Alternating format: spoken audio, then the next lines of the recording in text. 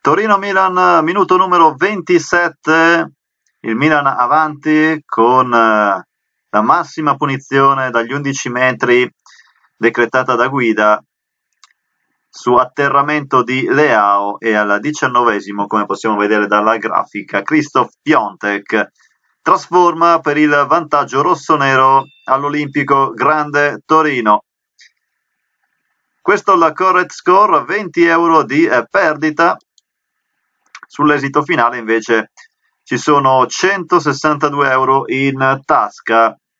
con il Milan quotato a 3,15 in pre-match, quindi un'occasione interessante dato quello che effettivamente sta dicendo anche la partita con un Milan decisamente lucido, intelligente nella manovra, ottimi gli spunti dei rossoneri ben messi in campo e vicinissimi anche il raddoppio dopo il rigore molto discusso tra l'altro di Leao, ma eh, l'arbitro guida dopo un consulto al VAR ha eh, di fatto confermato il rigore per il Milan, Milan che sta conducendo 1-0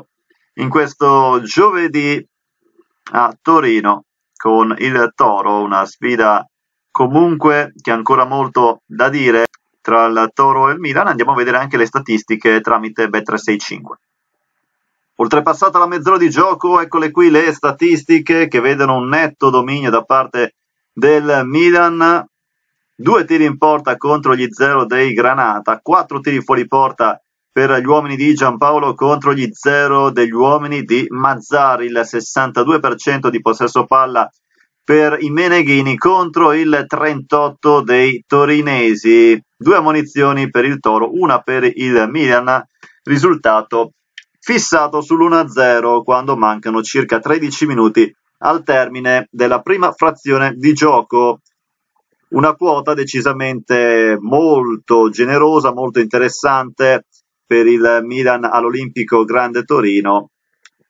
e una quota sfruttata al meglio con un Milan eh, non solo in vantaggio ma anche meritatamente in vantaggio per quello che si sta vedendo in questo preciso momento. Questa invece è la giocata tra la Celta Vigo e l'Espagnol, match deciso al 48 minuto da Pedrosa. 32 euro di perdita circa sull'esito finale e 16 euro sul risultato esatto. Non mi convinceva particolarmente questo match vedevo piuttosto bene l'Espagnola, una scelta in difficoltà nel primo tempo con tanta tanta fatica a cercare delle manovre classiche che di solito portano la Celta in vantaggio, qualche sortita offensiva c'è stata ma nulla di eclatante, onde per cui ho tenuto una piccola considerazione per il Celta ma gran parte dell'esito finale è stato chiuso. Arriverà quindi una perdita di circa 32 euro sull'esito finale, a meno di clamorosissimi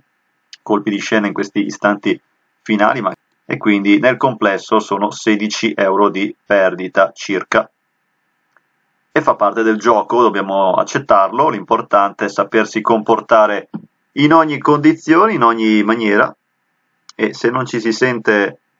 convinti, anche perché lo studio sta andando non sta andando completamente, non è completamente lineare a quello che eh, sto vedendo, stiamo vedendo in campo, preferisco prendere una piccola perdita e non andare oltre, quindi in questo caso 15-16 euro di perdita.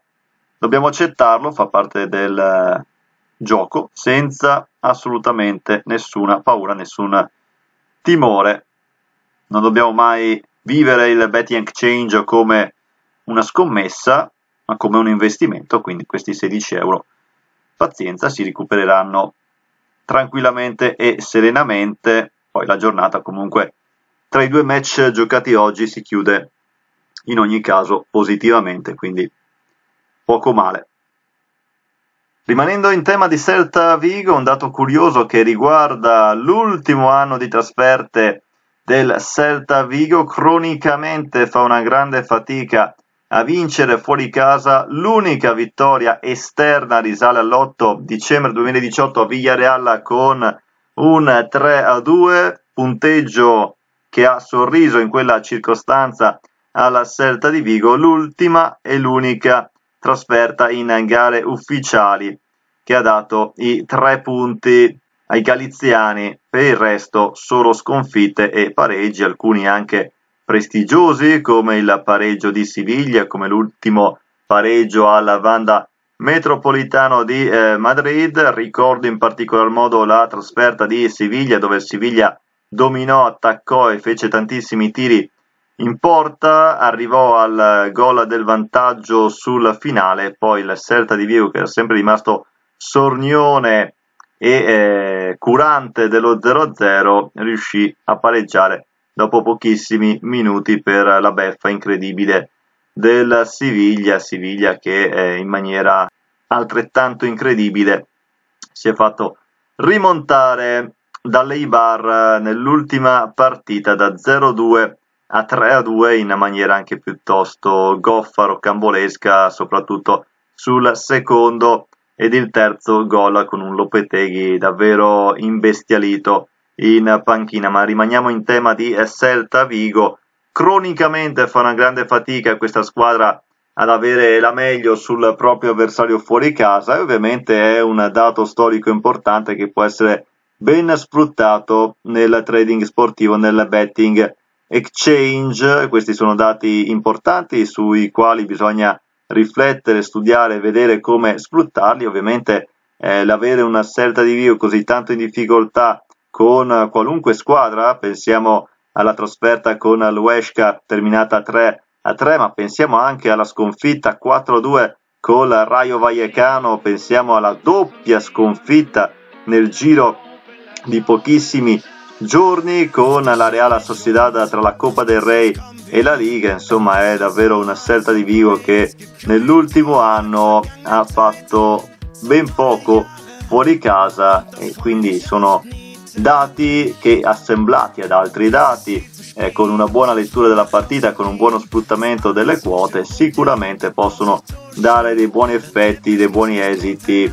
positivi quando ci ritroviamo nelle giuste condizioni nelle trasferte del Celta Vigo, fin quando ovviamente non cambierà il trend in atto da un anno a questa parte. Staremo a vedere se il Celta di Vigo da qui al termine del 2019 riuscirà a far sua almeno una delle prossime trasferte di Lega.